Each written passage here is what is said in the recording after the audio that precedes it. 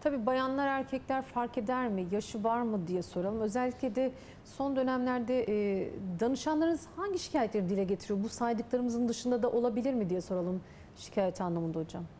Ee, şikayet e, çok geniş bir e, Yelpaze, şikayet evet. e, yelpazesi var. Mesela e, sıra dışı bir durum olduğu için e, ifade etmek isterim. Tansiyonu var hastamızın 10 yıldır, 5 yıldır e, ilaçlarıyla gayet güzel bir şekilde gidiyor. Ama bir dönem geliyor ki mevcut ilaçları e, yetmez oluyor. E, izah edemediğimiz şekilde tansiyonunda diyete de uyduğu halde hastamız, ilaçlarını da düzgün kullandığı halde e, tansiyonu çok yükseliyor.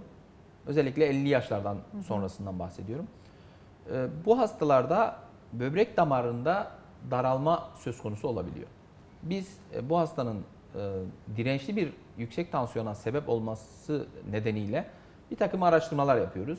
E, Bunun e, elbette başka sebepleri de var. Sadece böbrek damarından ötürü tansiyon yüksek seyrediyor olamaz. E, Ama böbrek damarında kontrol ediyoruz. Yine bahsettiğimiz Doppler e, yöntemiyle böbrek damarlarında bir daralma söz konusu mu acaba diye e, bu kontrolü yapıyoruz. Buradaki görüntülerde de bir örnek var. Evet.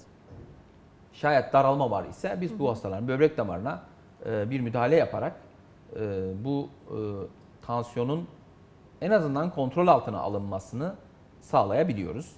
E, Çok gecikmiş hastalarda ne yazık ki e, istediğimiz yanıtı alamıyoruz. Böbrek damarı e, uzun süre e, önce daralmış ve bu şekilde hayatına devam etmişse şayet o böbreğin fonksiyonlarında ciddi bir bozulma ve ne yazık ki hipertansiyonda da çoğu zaman kalıcı hale gelme söz konusu oluyor.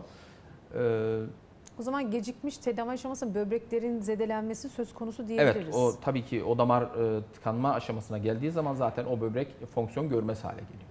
O, Diyaliz. böbre- o böbreği kaybediyoruz. Kaybediyoruz. Hayır, e, tek Tamamen. böbrek olduğu için Tabii. diyaliz olmuyor ama e, ikinci böbrekte söz konusuysa diyaliz de söz Orada konusu sıkıntı. olabilir. A- Amacımız e, hipertansiyonu kontrol altına almak ve böbreği korumak.